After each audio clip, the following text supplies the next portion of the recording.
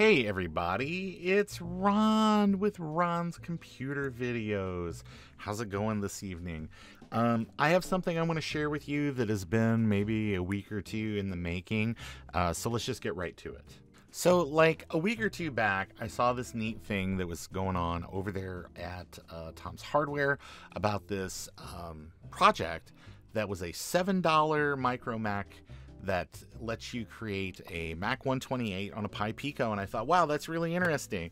What are people going to think of next uh, for the Pi Pico? And it turns out um, this is actually a really cool emulator that'll run on the Pico that lets you emulate either a 128K or a 512K Mac, depending on how it's configured. But there's a nice guy, his name is Matt Evans, who uh, basically just kind of hacked this all together. got an emulator working on the Pi Pico, and uh, yeah, it lets you just play around with uh, a Mac. So the um, the uh, article over at Tom's Hardware actually showed um, how he connected it up and things like that. And I was like, oh yeah, it's just perf board. This is pretty easy. Anybody can kind of do that. And so what I thought was, um, he uh, he lays it all out and uh, things it will do, things it won't do. Um, but gosh, that looked simple to me, and I was pretty sure that anybody that wanted to play around with it, um, for some people doing perfboard stuff is still maybe a little bit of a um, of a barrier uh, to getting involved with the project. And so I thought, well, what could I do to kind of help the community and clean this up a little bit? And that's why I made this. This adapter here basically cleans up the design and makes it something easy for people to just add their own Pi Pico and fly. Um, the board itself just has a VGA connection. It has a micro USB connection for power, which I figure at this point in the game, that's the connection that the Pi Pico uses. You've probably got a million of these PSUs laying around. Um, if you don't like that, it's okay because there is a two pin, 2.54 mil header there where you can go ahead and just, you know, hook up whatever you want. And of course, you can have a little diode in place to protect all your power. But yeah, basically your Pico just uh, plugs in there. You can drag solder it.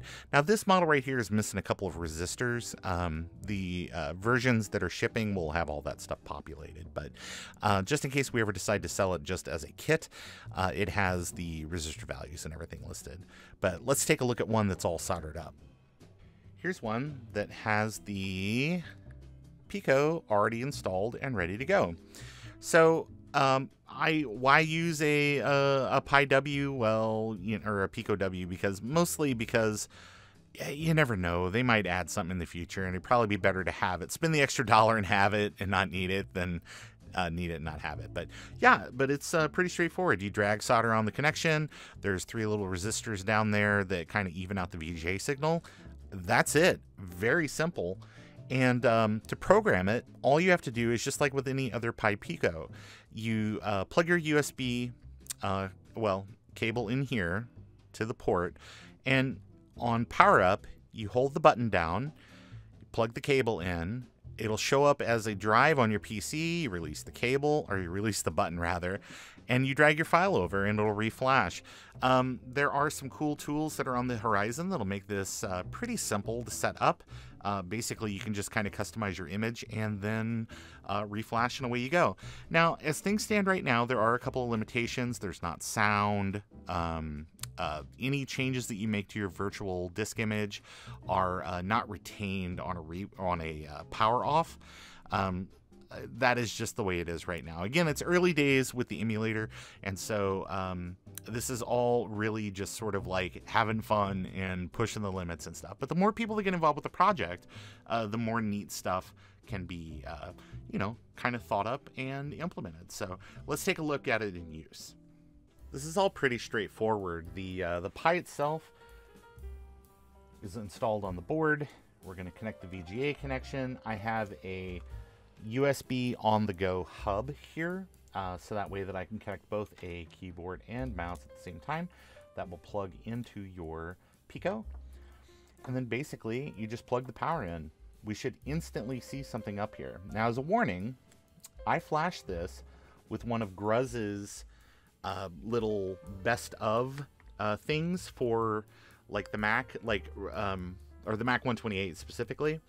But this is, uh, you know, uh, that's that game, the game about the frogs.